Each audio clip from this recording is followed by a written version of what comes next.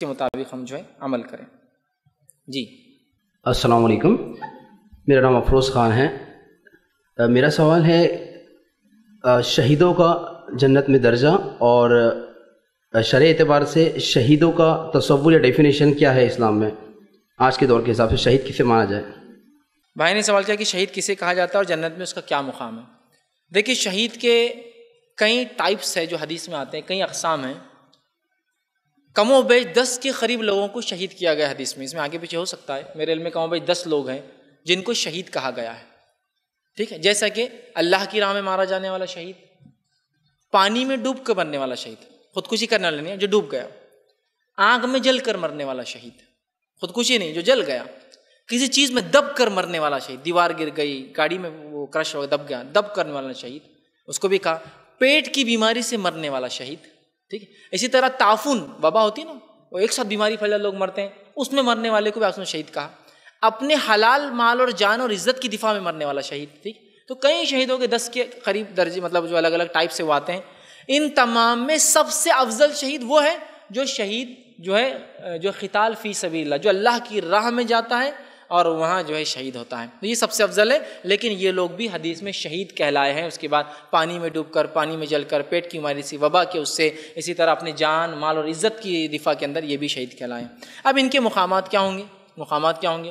تو شہادت ایک ایسا درجہ ہے جس کے تعلق سے نبی اکرم صلی اللہ علیہ وسلم فرماتے ہیں، اللہ رب العزت ایک انسان کو اٹھائیں گے جنت میں سے، جو کہ شہید ہوں گا۔ اور اس سے پوچھیں گا آئے میرے بندے، میری جنت کیسی لگی؟ وہ کہیں گا اللہ، بس سب کچھ مل گیا۔ کوئی خواہش ہے؟ بندہ کہیں گا نہیں۔ اللہ پھر پوچھیں کوئی خواہش ہے؟ بندہ کہیں گا کچھ بھی نہیں۔ پھر اللہ پوچھیں کوئی خواہش ہے؟ جب بندہ دیکھ لیں گا کہ اللہ اللہ پوچھتا جا رہا ہے مطلب اللہ سوال کریں گا ہی، کچھ نہ کچھ جواب مجھے دینا ہی ہے اس کا مطلب۔ تو بندہ کہیں گا اللہ، میں تیرے راہ میں شہید ہوا تھا، پھر مجھے زندہ کر، میں دنیا میں جاؤں اور پھر پھر تیرے راہ میں مارا جاؤں۔ اللہ کہیں گا، دنیا میں جانا ممکن نہیں، واپس جنت میں چلے جاؤ تو شہید ایک ایسا درجہ ہے کہ صرف شہید ہی ایک ایسا شخص جو مرنے کے بعد بھی اللہ سے کہیں گا مجھے دنیا میں جا کے پھر شہید ہو کر آنا ہے۔ بہت مقام ہے اس کا۔ اسی طرح آپ نے فرمایا کسی انسان کا خون جو ہے زمین پر گرنے سے پہلے شہید جس میں ہو جائیں گا مطلب ایسا زخم جس سے وہ مرنے والا ہے، خون گرنے سے پہلے اللہ اس کی مغفرت کرتا ہے، سوائے مخروض نہ ہو، یاد رکھے بندوں کا حق ایک الگ ہی چیز ہے۔ ٹھیک؟ تو شہید کا بڑا فضیلہ۔ اس لیے آپ نے ایک روایت نے فرمایا کہ شہیدوں کے سو درجات ہے جنت ہر درجے میں فرق زمین و آسمان کے برابر۔ ایک روایت میں ننانوے درجے، نائنٹی نائن۔ ہر درجے میں فرق سو سال کا ہے اور ہر درجے میں فرق ایک میں آتا ہے زمین و آسمان کے برابر۔ تو لہٰذا شہیدوں کی کیٹیگریز ہی ٹائپس ہیں اور مختلف شہیدوں کے مختلف مقامات ہیں۔ رہا پیٹ کی بیماری وبا دب کر جل کر ان کا کیا ہے؟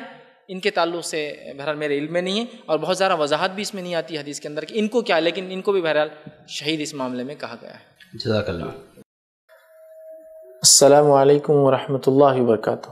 ناظرین اگر آپ کو اس ویڈیو سے کچھ فائدہ ہوا ہے اور آپ کو لگتا ہے کہ اس ویڈیو سے دوسرے فائدہ اٹھا سکتے ہیں، تو میں آپ سے گزارش کروں گا اپیل کروں گا کہ آپ ضرور ہمارا تعاون کریں تاکہ ہم ایسے ویڈیوز اور بنا سکیں اور اس سے آپ اور دیگر لوگ جو ہے فائدہ اٹھا سکیں۔ آپ اپنا تعاون، اپنا ڈونیشن ہمارے بینک اکاؤنٹ یا ویسٹرن یونین اور دیگر اس قسم کے موڈ سے بھی بھیج سکتے ہیں۔